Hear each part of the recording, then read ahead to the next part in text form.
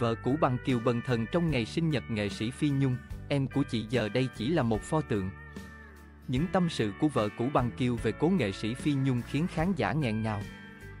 Vợ cũ bằng kiều vẫn chưa nguôi ngoai trước sự ra đi của cố nghệ sĩ Phi Nhung. Trên trang cá nhân, Tri Di Phương Trinh đăng tải bài viết dài đầy tâm trạng kể về những kỷ niệm với cố nghệ sĩ Phi Nhung thuở sinh thời. Cô nghẹn ngào viết, Happy birthday Phi Nhung. Em gái của chị.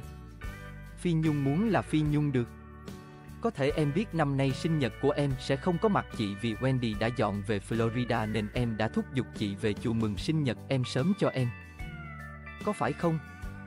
Chị có nghe là chùa có làm một cái tượng của em nhưng chị không hình dung ra nó nhìn như thế nào. Chị bỡ ngỡ khi bước vào phòng. Thấy em đứng đó như đang chào đón hai chị, làm chị không thể nào kìm lại hai hàng nước mắt. Nắm tay em mà lòng đau như cắt. Phi Nhung bằng xương bằng thịt của chị bây giờ chỉ còn là một pho tượng đứng đó thôi sao? Khán giả không khỏi ngưỡng mộ với tình cảm đầy chân thành giữa Tri Di Phương Trinh dành cho Phi Nhung. Mặc dù Phi Nhung qua đời, nhưng Tri Di Phương Trinh giữ mối quan hệ tốt đẹp với con gái nữ ca sĩ.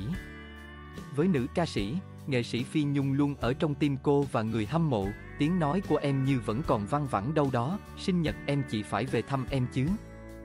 Em không muốn mọi người quên em đâu. Phi Nhung là vậy đó, lúc nào cũng nũng nịu, lúc nào cũng thích được nuông chiều. Ngày xưa mỗi lần em nhõng nhẽo với chị, chị rất sợ vì không thích con gái có tính cách bánh bèo. Nhưng giờ đây đứng trước pho tượng của em, chị ước gì em có thể ôm chị và ngã đầu vào vai chị như em đã từng làm mỗi khi chụp hình chung với chị. Thôi thì chị ngã đầu vào vai em vậy nhé. Thương em ra đi quá sớm nhưng phi nhung của chị bây giờ là một huyền thoại. Những gì em đã cống hiến cho đời, mọi người sẽ luôn nhớ đến em và không bao giờ quên em đâu.